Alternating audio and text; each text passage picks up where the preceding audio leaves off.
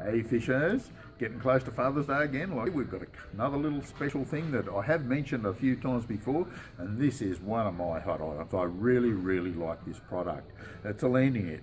Landing net, what you say, you know, everybody's got a landing net. Not everybody's got one of these. This is a must for dad if he fishes streams or out of a kayak or out of a canoe, walk around through blackberry bushes, that not get hooked up on anything. It sits on your belt, your little belt buckle thing on it, goes on your belt, and all you have to do, bang, we're into it.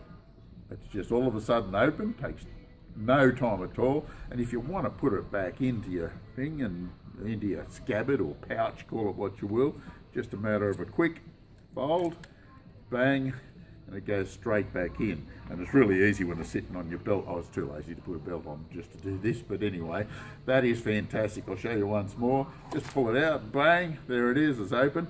And I've put trout in that over five kilos. So you'll have no problem whatsoever as landing big trout in this thing. It's more than strong enough. And I've had one for over 20 years, believe it or not. And I've only replaced the netting a couple of times. Great Father's Day gift. You must have if you're fishing streams.